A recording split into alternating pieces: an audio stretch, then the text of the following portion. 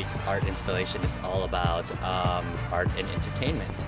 And uh, some LSU students designed this installation to celebrate art in the West End and New Iberia. We're trying to recognize that there is a lot going on here, that there are some neighborhood artists uh, whose work is excellent, and we'd like to give them a venue to display their work. The West End lends itself to a creative cultural economy, and so we kind of wanted to highlight that as well.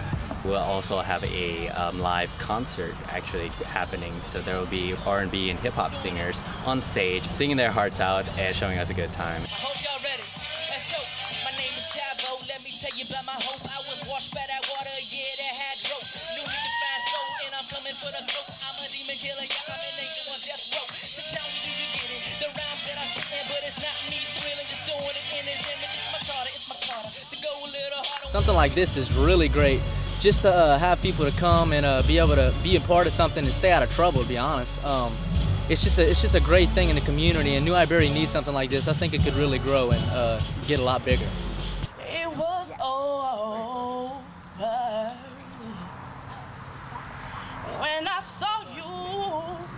I think it can help a lot, keep a lot of these little kids running around on the streets, you know. I think it's time we do make a change. I really do. The fateful lightning of his terrible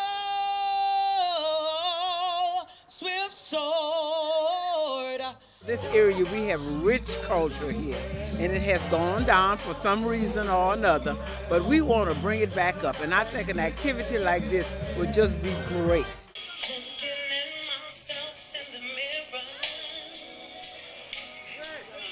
we prove as a community that we can come together in something that's useful and viable and represent all peoples, and that's what I love about it.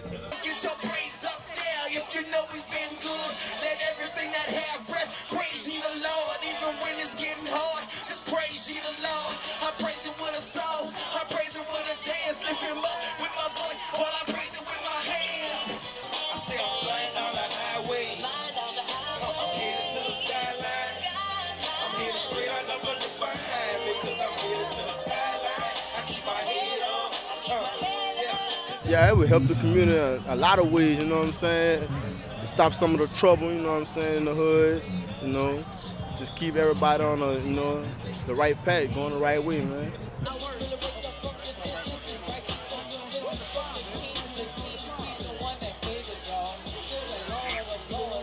These type of projects bring everybody together down on Hopkins Street in a positive way.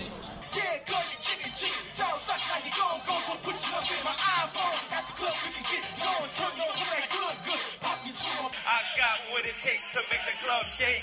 I got what it takes to make the club jump. I wish we can do this every day if, I, if, if possible. But uh, I give big ups to people that do things like, uh, you know, like this because it really helps us out as local artists we'll be showing a documentary, uh, HBO documentary called The Black List, which chronicles uh, or has interviews with prominent African American figures. If, if this is inspiring you, if you like the presence of public art, then you know we can work together and find other people who share a common vision for public art and entertainment in the West End. We have two more weeks left after this installation. Next week will be the culture theme, and the last week will be um, transit, green transit in particular. And um, if you want to find out more or become involved with the Envision da Berry project, please go to our website, www.debary.org, or you can check us out on Facebook under da Berry New Iberia page. Thank you. Thanks. Ride by the sides of an ocean. I got somewhere that I'm going, so I'm in motion. Like a locomotive, never falling off track. Demons and business and Cadillac.